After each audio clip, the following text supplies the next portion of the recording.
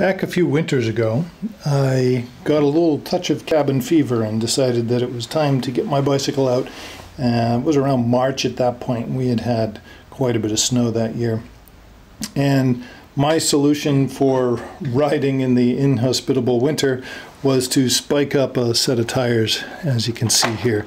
These are the tires that I made that winter, where basically what I did was I took a regular mountain bike tire and I used a screw gun and I put a whole bunch of Phillips head screws into the tire so that they would poke out the bottom of the tire and grip onto the um, the ground.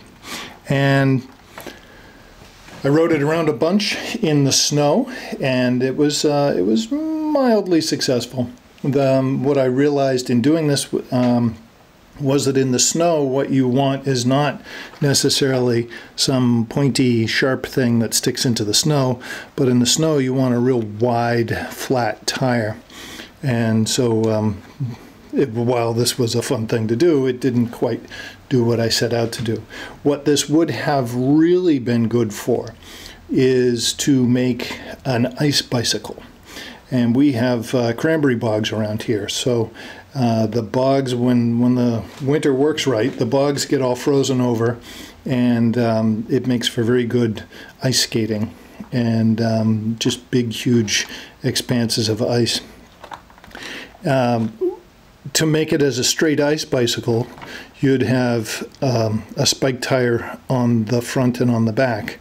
And um, I'm also hearing lately about this thing called an ice velocipede which is basically a bicycle that one of the wheels has been taken off and replaced with a skate, which um, this would be very good for the drive wheel because it would really grip onto the ice and, and you get a very good grippiness onto the onto the um, ice.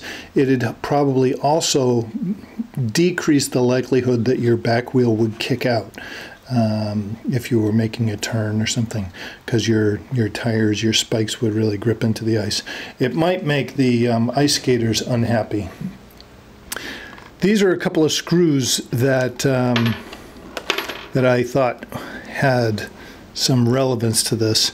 These ones look very similar to the screws that I used for this.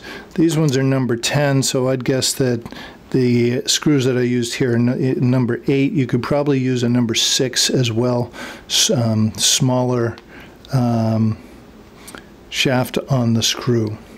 And um, one of the things that's nice about this is that it's got a flat head that um, rests onto the bottom of the tire, the inside of the tire. These ones here are wood screws, and they have a tapered head on them. This probably wouldn't be so good because it wouldn't it wouldn't grip the material of the tire all that well. These ones over here, I think, are pretty good because they have a nice big wide flat pan head. And if you were to use these ones, that'd be great. Another feature that's important to use in the screw is a self-tapping screw. And um, what that'll do is that'll allow you to kind of get it positioned right. And then uh, with a screw gun, you can put it so that it, um, it just drills right in. Now, originally I tried to aim the screws so that they went through the big thick parts of the rubber on the tire. Um, after a while, I decided that that wasn't as important. Uh, also, I made this band that goes on the inside of the tires. And what this does is it protects the tube from rubbing against the metal of the screws.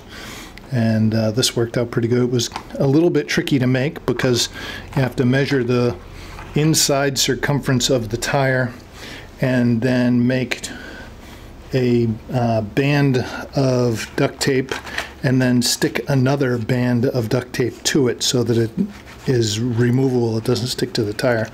Although I suppose you could just just tape the inside of the tire. So a grippy bicycle tire for your ice skating pleasure.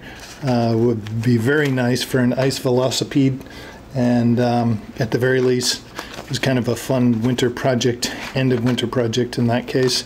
Uh, but it doesn't have to be an end of winter project. You could get your bicycle all ready and um, ride it throughout the winter on the frozen lakes or frozen ponds or cranberry bogs.